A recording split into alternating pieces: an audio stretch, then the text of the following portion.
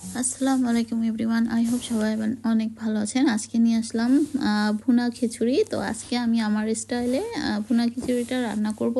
তো ভাবলাম দেখি এভাবে রান্না করলে কেমন হয়। তো এখানে আমি ছোট করে আলু কেটে নিয়েছি, আর এখানে মুসুর ডাল এবং মুগ ডাল আর পোলার চাল একসাথে নিয়ে নিয়েছি। তবে মুগ ডালটাকে আমি একটু ভেজে নিয়েছিলাম। তো সব কিছু রেডি করে নিয়েছি, এখানে মশলাগুলোও রেডি করে নিয়েছি। আর কি কি মশলা আমি সব কিছু ডিসক্রিপশন বক্সে দিয়ে দেবো। আর ছবিতে তো দেখতেই পাচ্ছেন। আর এখানে আমি আদা, রসুন, পেঁয়াজ কুচি, টমেটো কুচি আর চিকেনের ব্রেস্ট মাংস ছিল কিছু, সেগুলোকে আমি আলুর মতো কিউব করে কেটে নিয়েছি। আপনারা চাইলে পরিমাণ বুঝে কম বেশি বাড়িয়ে কমিয়ে নিতে পারেন। তো চলে আসলাম রান্না করতে। তো এখন আমি দিয়ে দিলাম সামান্য পরিমাণে তেল তেলের সঙ্গে দিয়ে দিব ঘি। তো ঘিটা আমি চাচ্ছিলাম না খুব বেশি দিই, আপনারা চাইলে যে কোনো একটা দিয়েও করতে পারেন। তো যেহেতু রোজার মাস, তো ঘিটা কম খাওয়াই ভালো, যেহেতু রোজা রেখে বারবার পানি খেতে হবে। তো এই আর কি। তো কম দেওয়াই ভালো। তো এই তো আমি সব কিছু দেওয়ার পর আমি আস্ত গরম মশলাগুলো দিয়ে দিলাম। তো একটু ভেজে তারপর এর মধ্যে দিয়ে দেব কেটে রাখা সেই পেঁয়াজ কুচি, টমেটো কুচি, আদা, রসুন পেস্ট আর লবণ দিয়ে মশলাটাকে একটু কষে নেব। আর সঙ্গে আমি চিকেনের টুকরোগুলোও দিয়ে দিলাম। তো এই তো দেখতে পাচ্ছেন। আর আলুটাও দিয়ে দেব।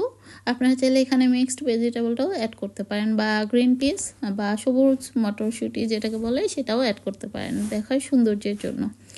তো আমি আর বেশি কিছু অ্যাড করলাম না। যেহেতু আমি আজকে একা খাব, আমার হাজব্যান্ড তো আর বাসায় মান্ডে ছাড়া খায় না। তো সে আবার পাতলা খিচুড়ি পছন্দ করে, আমি আবার ভুনা খিচুড়ি। তাই যেহেতু আমি একাই খাব, তো দুদিন, তিন দিনের জন্য আমি রান্না করে নিচ্ছি। তাই তো, এখানে আমি কিছু শুকনো মশলা অ্যাড করলাম, যেমন হলুদ গুঁড়ো, মরিচ গুঁড়ো, ধনে গুঁড়ো, জিরা গুঁড়ো, এবং দিয়ে দিলাম গরম মশলা গুঁড়ো।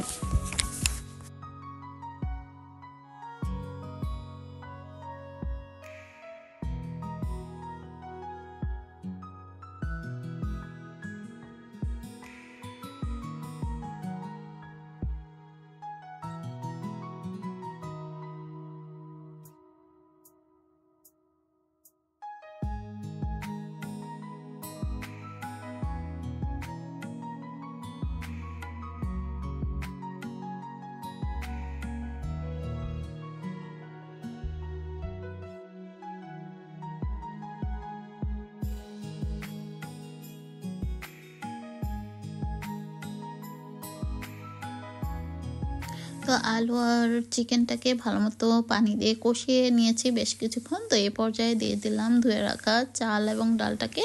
তো চাল এবং ডালটাকে খুব ভালো মতো মিশিয়ে নিচ্ছি বা কিছুক্ষণ এর মধ্যে নেড়ে চেড়ে কষিয়ে নিচ্ছি। তারপর এর মধ্যে বাকি উপকরণগুলো অ্যাড করব। যেমন এখানে আমি কাঁচামরিচ, ধনে পাতা এবং সামান্য একটু গুঁড়া মশলা, যেমন গরম মশলা পাউডার অ্যাড করব এবং গরম পানিটা পরিমাণ মতো দিয়ে দিব। আর লবণটা বুঝে অ্যাড করতে হবে।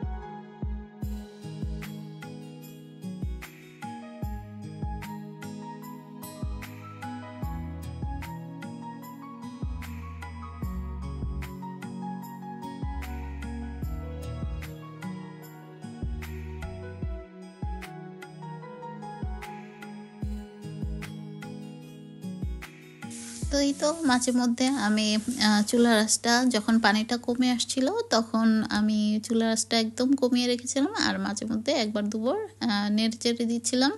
তো এই তো শেষ হয়ে আসছে আমার রান্নাটা। এই পর্যায়ে আমি আরও কিছুটা ধনে পাতা দিয়ে চুলা রাসটা একদমই কমিয়ে রেখেছি এবং দু তিন মিনিটের মধ্যে এটা হয়েও গিয়েছে, এটা দেখতে পাচ্ছেন।